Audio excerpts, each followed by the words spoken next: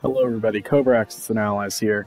Today I've got a little bit of a different video format for you guys. It's just a shorter video overall, just kind of reviewing these um, these painted units. And uh, overall, I've kind of switched to this format now for reviewing painted units, uh, just because they usually get a little less uh, watching his history. I'm sure most people don't want to just uh, sit here and you know listen to me talk about how I painted these units or how like good they look. That's kind of up to you guys to decide. So just kind of a faster format. You know, if you find something in particular very nice looking, you could pause the video and kind of check it out. But um, these are my metal aircraft that I got from Pico Armor. Uh, and if you guys have seen the video I posted a few weeks ago, or a few months ago now, um, I was reviewing the, the unpainted aircraft from that company, Pico Armor.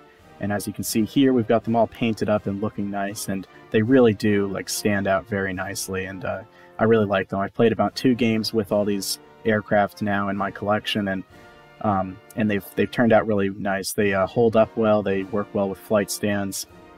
Overall, I'm very pleased with the cost and the the appearance of them.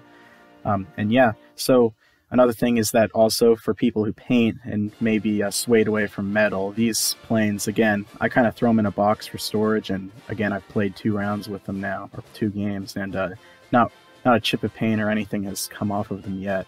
So overall, they're really nice and definitely worth the cost. I'll probably have a link in the, the, the description about these.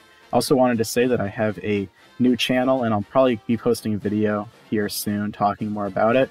But um, it is called Anzio History, and there'll also be a link down in the description below. And I definitely suggest uh, subscribing to that if you like history videos.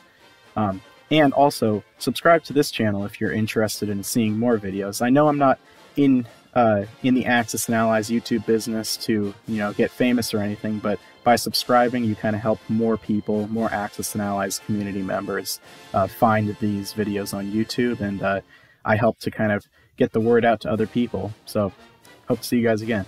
Cobra, out.